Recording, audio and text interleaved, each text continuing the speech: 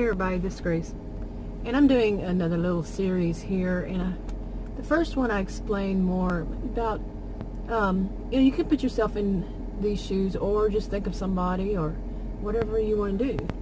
Um, but I told a story basically about someone um, moving to, growing up in a small city, in a small town, not really liking it. Let's say it's a woman. She, um, young woman she decided to move to a big city. She did work from, you know, she worked from home mainly. She went to big city, uh, lived there for a while. Didn't find it was easy to, to get to know people. She worked from home, but she worked also a part-time job. Really couldn't get to know people that much. So the, the small town wasn't right for her where everybody knew everybody and everybody's business, that kind of thing. And then the bigger city, nobody knew anybody, really and uh, nobody really cared about what was your business. so, um, so she moved to a, you know, a, a, small city, large town where many people knew one another, and but it wasn't either one, you know, either other extreme, small town or big city. In that video, I, you know, mentioned how she really found the, um, or anybody really found the, the town very you know, nice. This, um, like I said, large town, small city. Very nice, and moved into a home, you know, a temporary place. It's a house that she could work from home. She, you know, packed up all of her stuff, gave her notices, packed up, moved there. Found everything was nice when she went for a couple of weeks beforehand to check it out. Everything was nice. She moved back, you know, everything's really nice. Um, but we all know, as is life, nothing is perfect.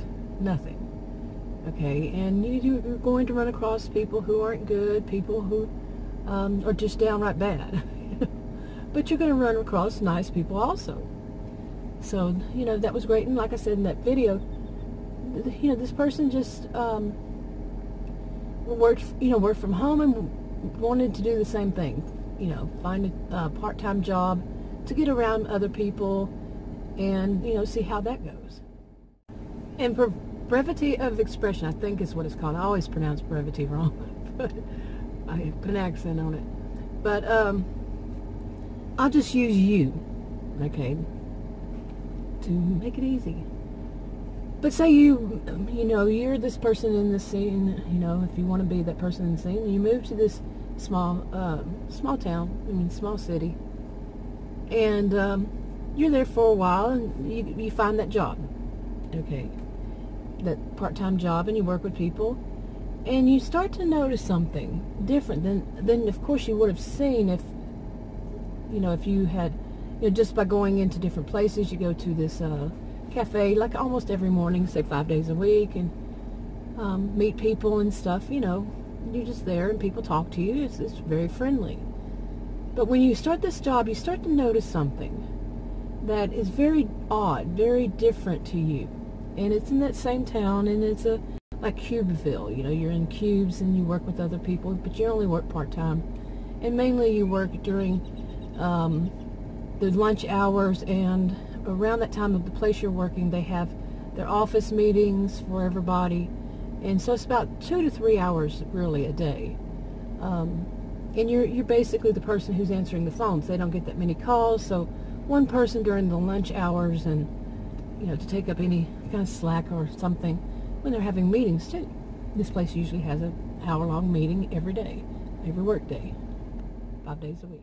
You still get to meet people, be around people, you know, the, when they're not on their lunch or not on the in the meetings, and um, so you get to know the staff and they introduce themselves, all that, and the thing that you start to notice that's odd is this one woman, just one woman, and she she's in that you know cube two in the whole big area.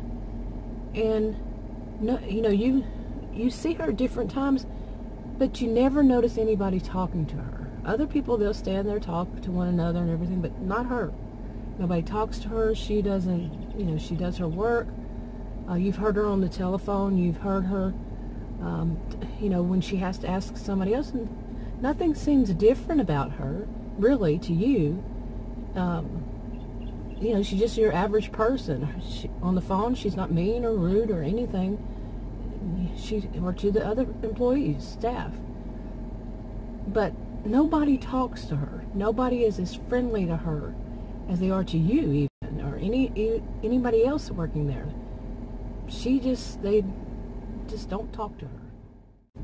And as you start to see it, she just seems what you call invisible to the to the rest of them.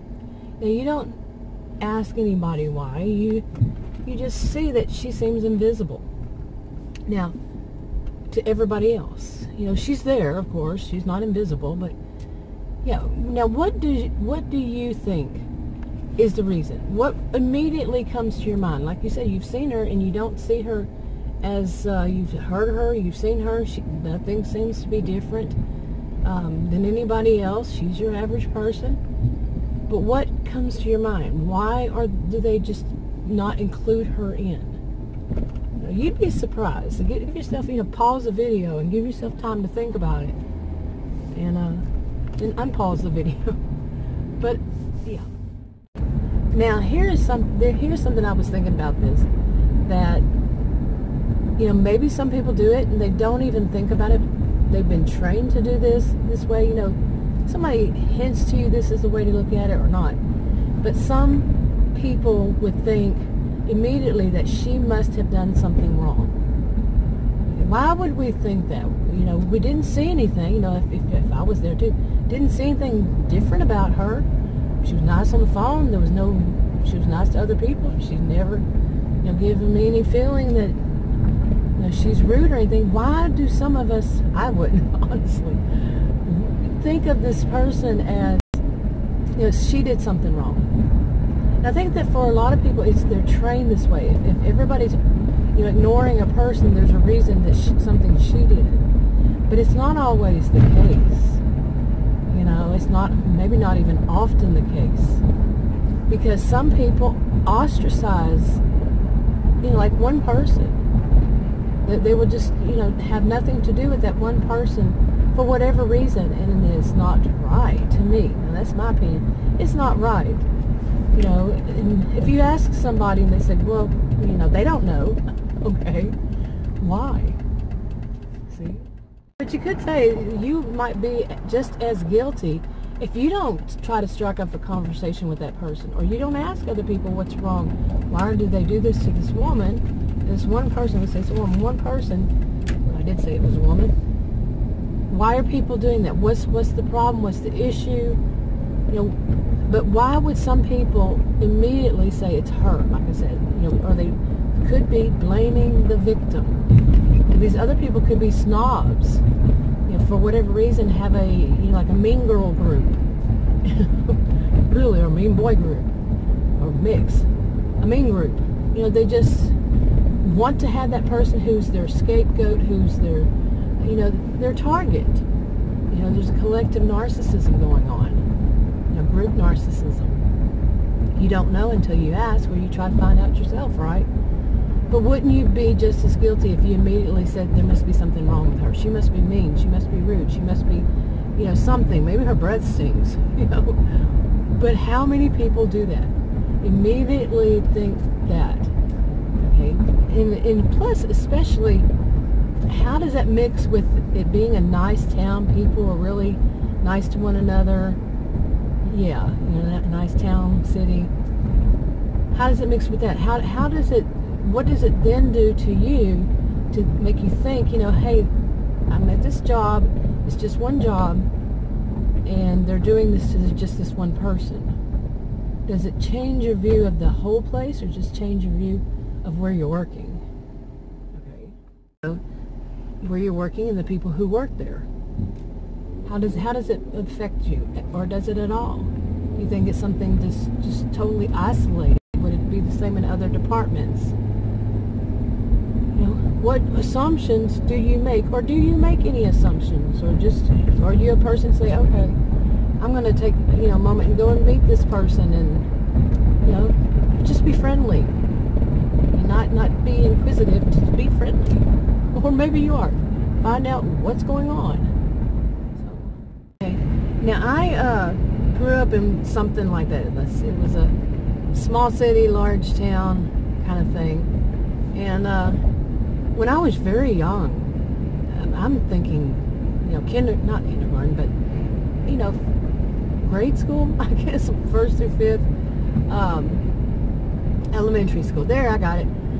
But I remember there was this one um, boy in my class, and I kept hearing, you know, people would say something. They didn't have all this no tolerance, no tolerance for bullying. I didn't even know what bully or bullying meant back then. I didn't know until after I was an adult. Never heard of it, at least as far as I remember.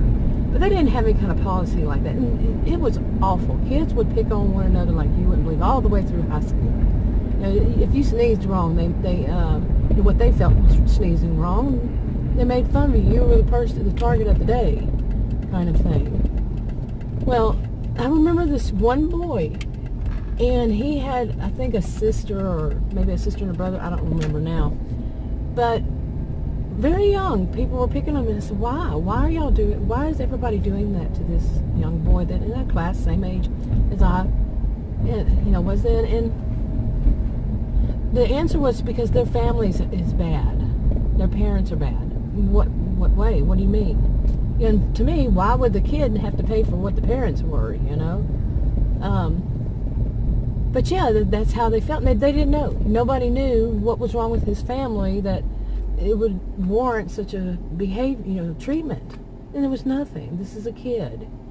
You know, like I said, there was no, you know, bullying thing back then.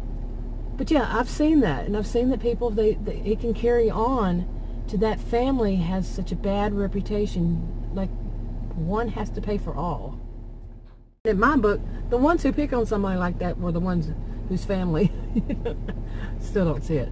No, one should not pay for all, you know, I mean, all should not pay for one. Yeah, I'll get it right. I had it backwards then. But yeah, you know, the, the um, just because like the parent or the parents do wrong or wrong, why does the, you know, each individual have to pay for that?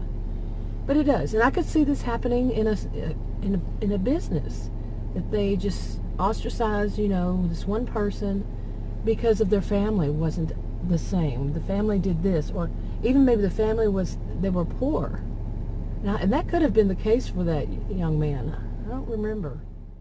But what about you? Have you seen this kind of thing happen, whether at work? It could be anywhere. It doesn't matter where it is, but have you seen it? And how did you behave? What did you do? What did you think? How did, did it taint whatever that place was? You know, like if you joined some charity or something and they were like this. Or would, would you be worried that if you befriended that person that then the rest would pick on you? How do you see it? I mean, as an adult, we're no longer children, you know, if you're watching this, you're no, not a child, I would think. But how do you see it? Anyway, I'm going to go ahead and wrap this video up, but leave a comment down below if you want, and I'll talk to y'all in another video. And by the way, this is part of a series, so I'll try to link, you know, at least one or two. This will be the second one, so I can only link one to it in the tri uh, in the rectangle the end of this video. And if you want to subscribe and you haven't already, you can click the circle icon. I'll touch you on another.